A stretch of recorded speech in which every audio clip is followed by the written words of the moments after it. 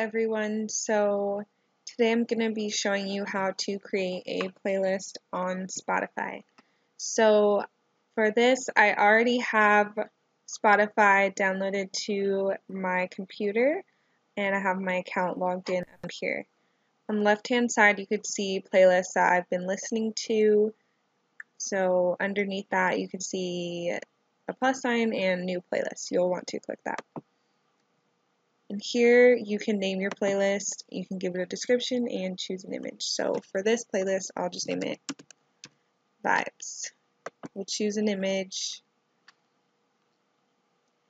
When I think of vibes, I think of having a nice coconut water in my hand. So I just Google searched coconut water.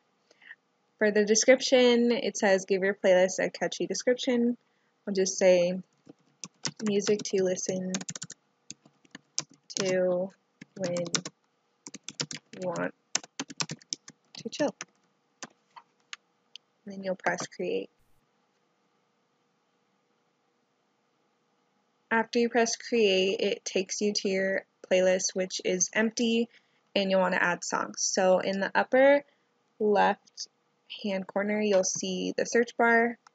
You, you could type the artist name or the name of the song or whatever it is. So I'll type Tame Impala.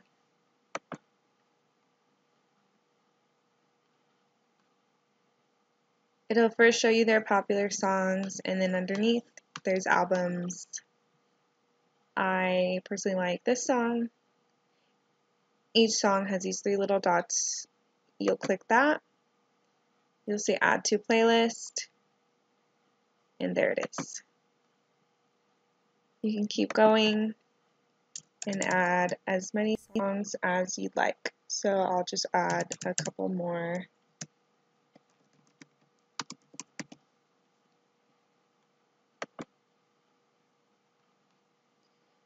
This is a good song. I'll add this to my playlist.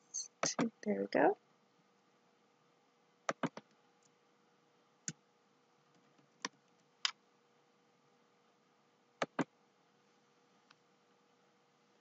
Another song I like, add to playlist.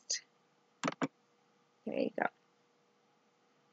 So on the left hand side you'll see all the playlists that you either have in your account that you've listened to or ones you've made. So I made this one, everything else I just added because I liked them, but they're made by someone else. So we'll go here and here we go.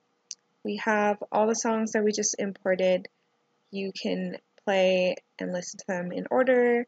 You can download it. There's all these options up here that you can edit the picture, you can edit the details, whatever it may be.